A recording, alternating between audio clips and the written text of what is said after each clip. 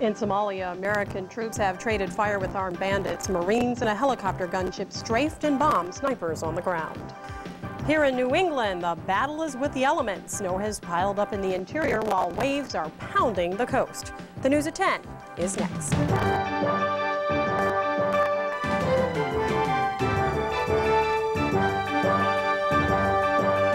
Live from Channel 56, the news at 10.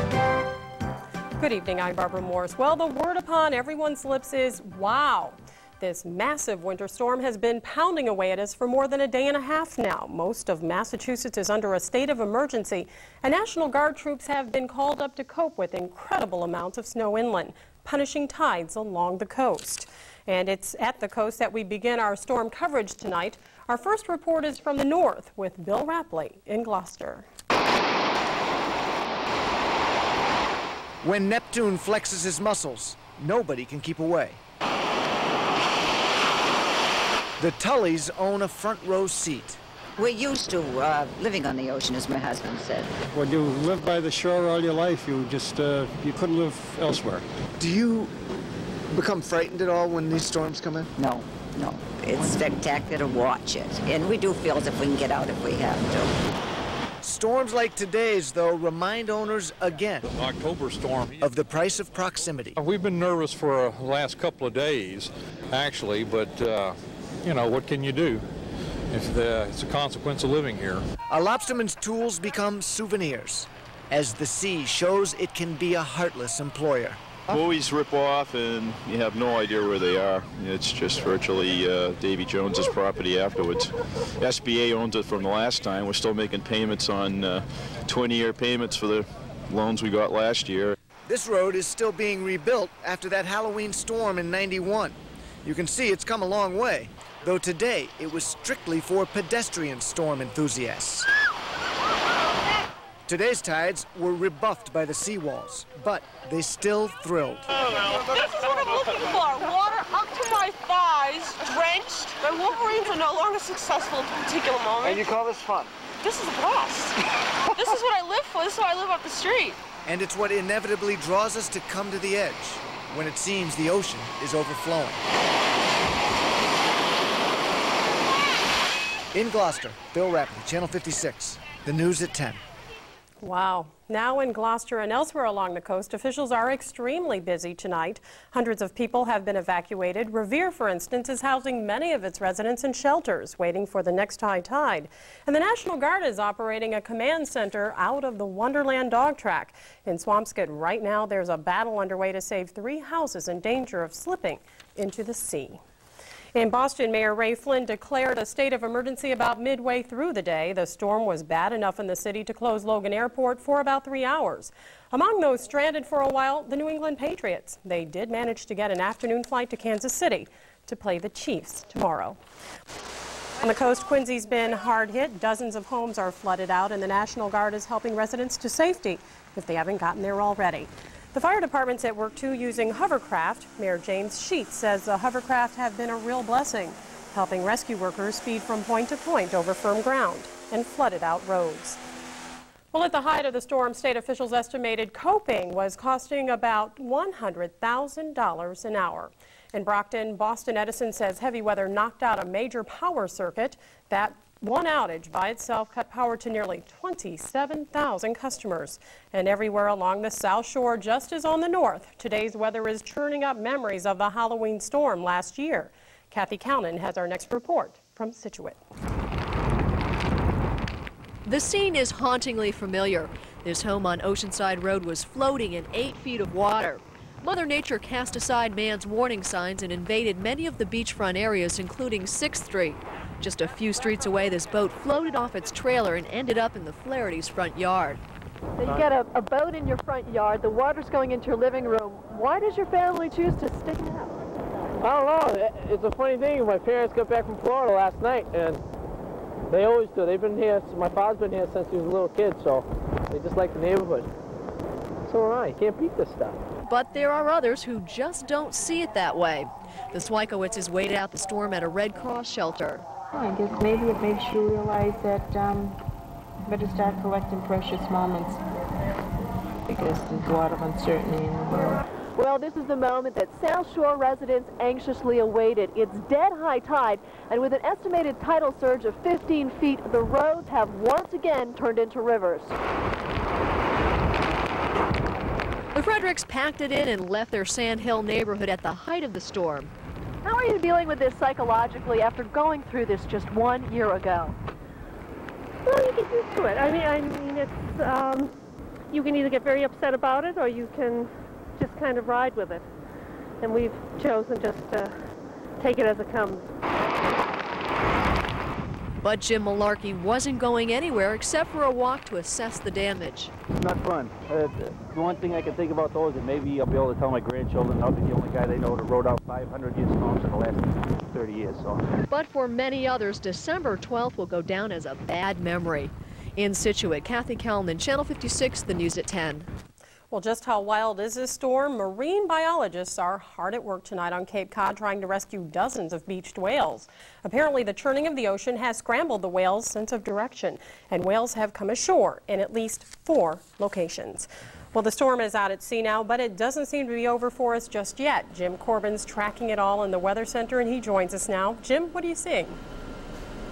Oh, Barbara, what I am seeing is a storm that simply will not stop. Just when you thought things were kind of winding down later this afternoon, things are beginning to pick up once again. Latest radar is showing lots of precipitation spinning in off the ocean from the east. And over the last hour, the snow has changed, or the rain has changed back to snow in Boston. And I am looking for at least another inch or two in many parts of eastern sections of Massachusetts, even parts of Rhode Island and Connecticut. Also, we're going to be dealing with a very high tide once again tonight and once again tomorrow afternoon. However, not quite as bad as it was today. I'll have a full forecast for you in just a few minutes. Barbara? Thank you, Jim. And we've got the snow story coming up as our storm coverage continues on the News at 10.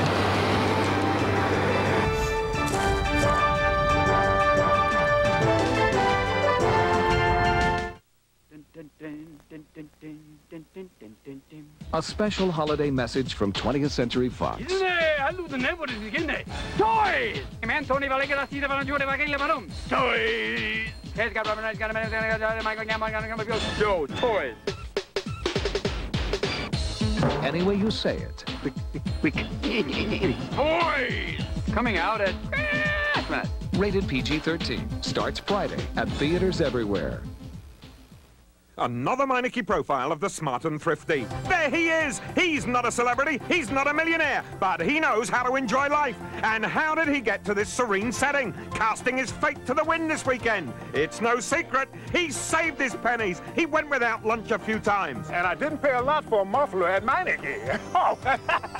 Come to Meineke Discount Mufflers, the muffler and brake specialist, where you'll get more life out of your car and more miles for your dollar. At Meineke, you're not going to pay a lot for a muffler.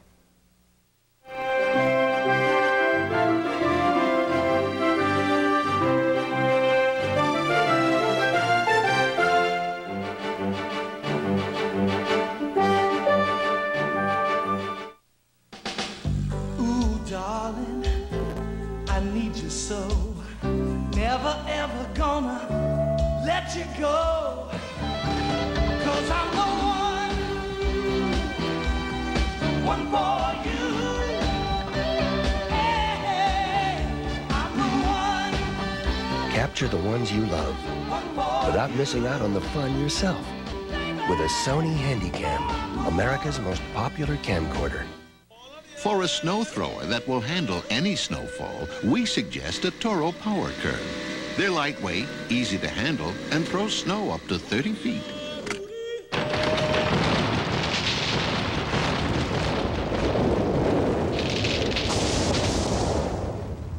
So they're perfect for those times when it really comes down.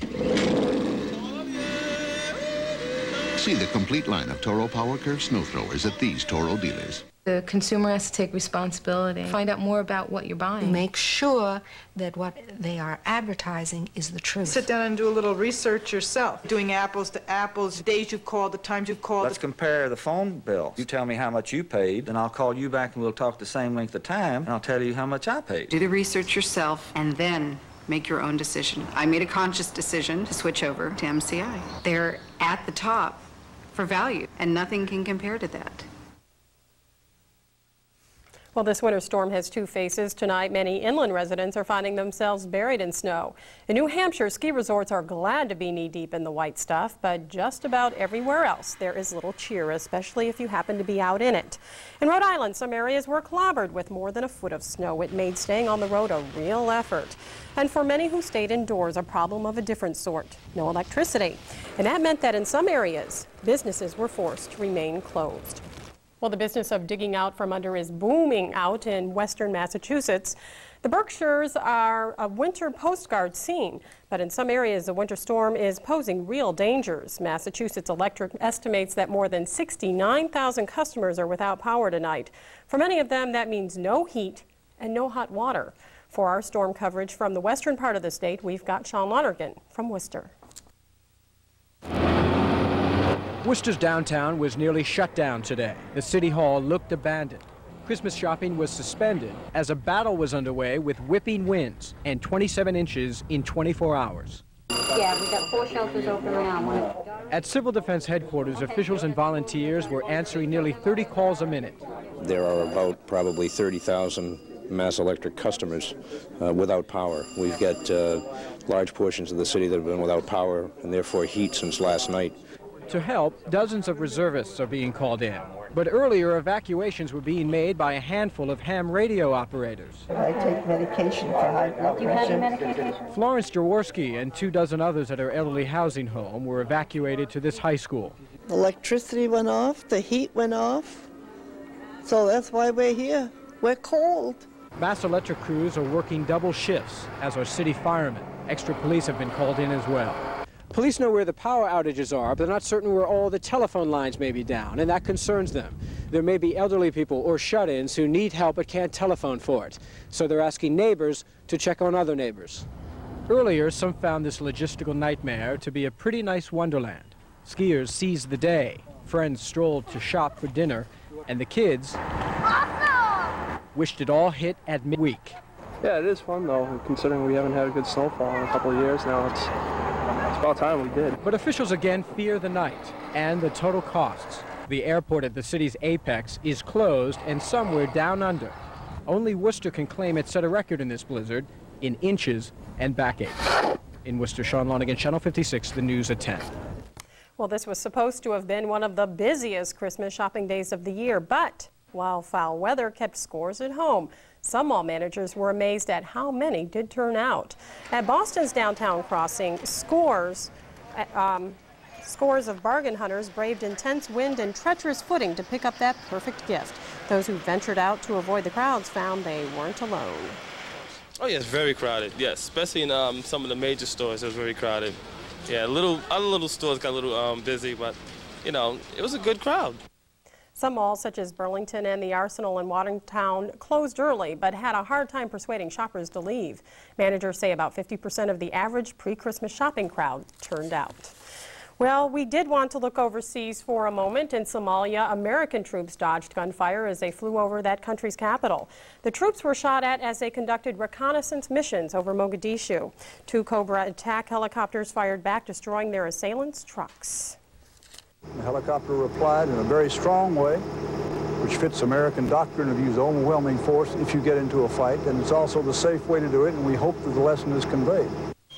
U.S. officials are not sure how many Somalis were killed in the attack. Meanwhile, other U.S. troops helped to deliver the first shipment of food to reach Somalia since Operation Restore Hope began.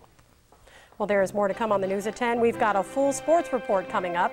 And after all this talk of stormy weather, Jim Corbin will tell if and when it will ever end.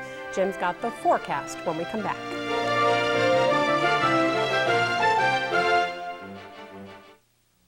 Yo, Frosted Flakes fans, got a sweet spot. Hit it with a sweet shot. Honey